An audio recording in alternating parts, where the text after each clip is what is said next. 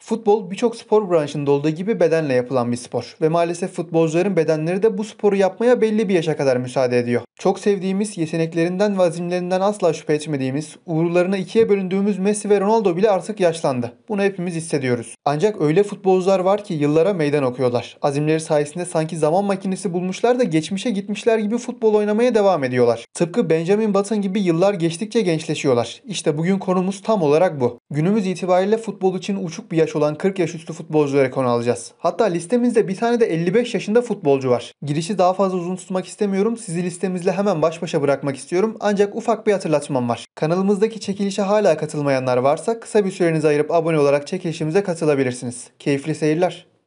Zlatan İbrahimovic 40 Listemize bu videoyu çekme amacım olan Zlatan'la başlamak istiyorum. Bu videoyu onun için çektiğimden dolayı da Zlatan kısmını biraz uzun tutacağım. Aktif futbolculuk kariyerinin son dönemlerinde olan Zlatan İbrahimovic hiç şüphesiz günümüz futbol dünyasının en renkli ve sıra dışı figürlerinden biri. İsveç'te doğan Zlatan İbrahimovic aslında İsveçli değil. Boşnak göçmen bir babayla Hırvat göçmen bir anneden dünyaya gelen Zlatan İbrahimovic, İsveç'in en büyük üçüncü kenti olan Malmö'de büyüdü. Zor bir çocukluk dönemi geçiren Zlatan İbrahimovic'in anne ve babası şiddetli geçimsizlik nedeniyle o henüz 2 yaşındayken boşandılar. Babası Şefik İbrahimovic onları terk etmiş, o ise annesi Yurka Gravic ile birlikte kalmıştı. Daha sonra anne Gravic başka biriyle evlenince Zlatan o günleri annemle birlikte yaşarken bir üvey babanın hayatıma girmesi acı verici bir deneyimdi sözleriyle anlatacaktı. Çocukluk zamanlarında hayatı baya karışık olan Zlatan'ın içinde bulunduğu durumu umarım anlatabilmişimdir. Hem göçmen bir ırka sahipsiniz hem de henüz 2 yaşındayken babanız tarafından terk ediliyorsunuz. Daha kötü ne olabilir ki? Zlatan'ın günümüzdeki karakterinin oluşmasındaki en büyük etken de o dönem yaşadıkları aslında. Genç yaşlarında ailesinin ilgisizliğinden şikayetçi olan Zlatan bu durumu kimse günümün nasıl geçtiğini bile sormazdı sözleriyle anlatıyor. Peltek konuşan iri burunlu bu genç çareyi yasa dışı işlere karışan göçmen topluluklara karışmakta buldu. Edindiği arkadaş çevresi onun bencil, kibirli ve agresif yapısının temellerini oluşturuyordu. Malmö'de ufak tefek hırsızlıklar gibi kirli işlere de bulaşan İbrahimovic aynı zamanda futbola da merak salmıştı. Henüz 10 yaşındayken girdiği Malmö altyapısında yaşıtlarına göre oldukça güçlü ve büyük olan vücuduyla dikkat çekiyordu. Altyapı yıllarının ardından yetiştiği takımda Malmö'de futbola başladı ve 2 yıl gibi kısa bir sürede dikkatleri üzerine çekip 8 milyon euro bedelle Ajax'a transfer oldu. 2001 yılında transfer olduğu Ajax'ta Şampiyonlar Ligi'nde gösterdiği performans sayesinde 16 milyon euro bedelle Juventus'a transfer oldu. Juventus'ta da her şey yolunda gibi görünüyordu. Ancak malum şike olayı patlak verdi. Juventus'un şike yaptığına karar verilince küme düşürülmüştü. İtalya Serie B'de futbol oynamak istemeyen Zlatan 25 milyon euro karşılığında İtalya'nın diğer bir deve Inter'e geçiş yaptı. Inter ona Juventus'tan daha iyi gelmişti. Inter'de kaldığı 3 yılda 3 Serie A başta olmak üzere birçok kupa kazanan Zlatan 2008 ve 2009 yıllarında İtalya'da yılın futbolcusu seçilmişti. Onun adına her şey güzel giderken dönemin en başarılı takımı Pep Guardiola'nın barçası Zlatan için Inter'in kapısını çaldı. Barcelona Zlatan için birinci forveti Eto'yu ve üstüne de 40 milyon euro vermişti. Zlatan Barça'da başarısızmış gibi saçma bir algı var. Ama işler öyle değil. Barça'da geçirdiği bir yılda 45 maçta 21 gol 13 asistle 34 gole doğrudan katkısı var. Barça'daki problem hocasıyla arasındaki uyuşmazlıktı. Sportif bir problem değil. Pep Guardiola'nın oyunu Messi'nin üzerine kurmak istemesi Zlatan'ın pek de hoşuna gitmiyordu. Zaten Barça'da geçirdiği o yılın ardından önce Milan'a kiralandı. Ardından da bonservisi verildi. Milan'dan sonrasını zaten hepimiz dün gibi hatırlıyoruz. Önce Paris Saint Germain, sonra United ve daha sonra da Los Angeles Galaxy. O dönemlerde yaşlandığını hissettiği için rekabetten uzak bir lige giden Zlatan aslında yaşlanmamıştı. Avrupa'dan uzakta olmak hoşuna gitmemiş olacak ki 38 yaşındayken efsanesi olduğu Milan'a yeniden döndü ve Milan'ın şu an tekrar ayağa kalkmasındaki en önemli isimlerden biri. Videomuza tanıtım için kısa bir ara veriyorum. Sizlere ek gelir elde edebileceğiniz bir uygulamadan bahsedeceğim. Uygulamanın adı Binomo. Binomo online olarak yatırım yapabildiğiniz bir finans platformu. Eğer tecrübeniz yoksa Binomo öğrenebilmeniz için demo hesabınıza 12.000 TL tanımlıyor. Şimdi size nasıl yapıldığını göstereyim. Gördüğünüz gibi gerçek hesabımda 10.300 TL para var. Ben buradan 1700 TL'lik bir yatırım yapıyorum ve yukarı diyorum. Şimdi tahminimizin sonuçlanmasını bekleyelim.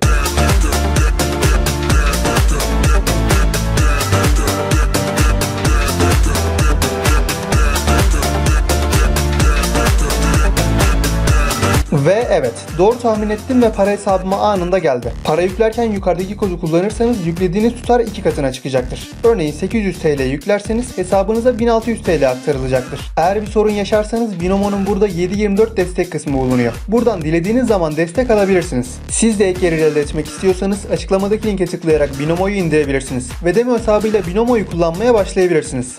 Santa Cruz 40 Kariyerine ülkesi Paraguay'ın takımı Olimpiyada başlayan Santa Cruz, Avrupa'ya Bayern Münih formasıyla ayak basmıştı. Bayern'den sonra gittiği İngiltere takımı Blackburn'da yaptığı patlamayla 20 milyon euroya Manchester City'ye gitmişti. Başarısız geçen Manchester City kariyerinin ardından Real Betis, Malaga ve Cruz Azul gibi takımların formasını giydi. Buralarda da aradığını bulamayan Santa Cruz, yeniden ülkesine altyapısından yetiştiği takım olan Olimpia formasıyla döndü. 2022 Ocak transfer döneminde son Paraguay şampiyonu Libertad'a transfer oldu ve hala oynamaya devam ediyor.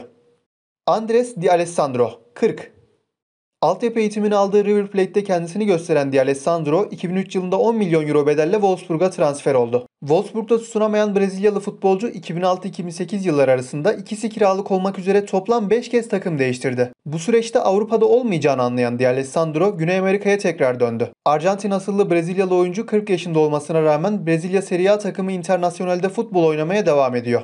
Rodrigo Palacio 40 Ülkesinin altyapısında yetişip Boca Juniors'ta patlama yaptıktan sonra çeşitli İtalyan takımlarında oynadı. 12 yıllık Serie A kariyerinde Genoa, Inter ve Bologna için mücadele etti. Günümüzde İtalya Serie B takımı Brescia forması giyiyor.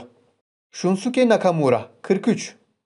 İtalyan takımı Regina formasıyla Avrupa'ya gelen Japon futbolcuyu Celtic'ten hatırlayanlarınız vardır. Celtic'te geçirdiği 4 yılın ardından bir yılda İspanyol'da oynadıktan sonra 32 yaşında tekrar ülkesine döndü. Birkaç yıl daha oynar sonra emekli olur denirken aradan 11 yıl geçti ve o 43 yaşında olmasına rağmen hala oynuyor. Gianluigi Buffon, 44.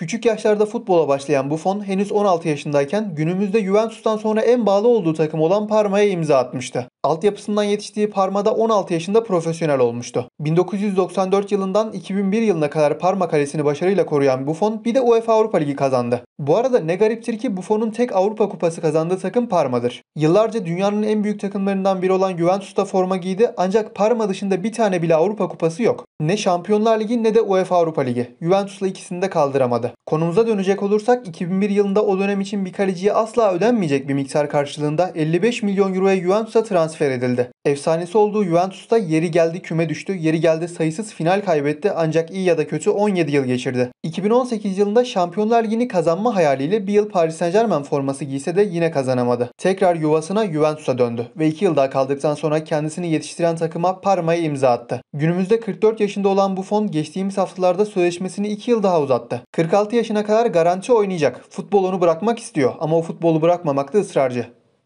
İbrahim Öztürk 40 40 yaş üstü futbolculara ligimizden bir örnekle devam ediyoruz. Ligimizde yıllara meydan okuyan futbolcu denince aklımıza genelde Atiba gelir, normaldir. Ancak Atiba henüz 40 yaşında değil. Ligimizin aktif olarak en yaşlı futbolcusu olan İbrahim Öztürk Altay forması giyiyor. Ve gerçekten giyiyor. Yani sadece futbola devam etmek için yedek kulübesine hapsolan bir oyuncu değil. Çoğu zaman şans buluyor. 2008 yılında Bursa Spor'a transfer olana kadar kariyeri alt ligde geçmişti. Bursa Spor'un şampiyon kadrosunda da bulunan İbrahim Öztürk daha sonra Sivas Spor forması giydi. Sivas Spor'dan sonra da günümüzdeki takımı Altay'a transfer olmuştu.